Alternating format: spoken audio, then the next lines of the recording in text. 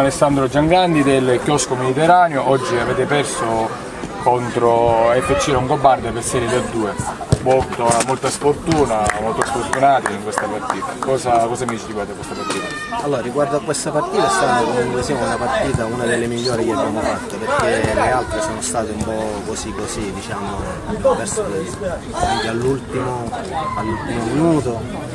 Poi riguardo al campionato è stato un bel campionato, la prima esperienza che io faccio alle, al campionato è 3 piazzette e niente, ci siamo divertiti e per il prossimo anno. Ok, dai, aspettiamo il prossimo anno, va bene? Grazie a tutti.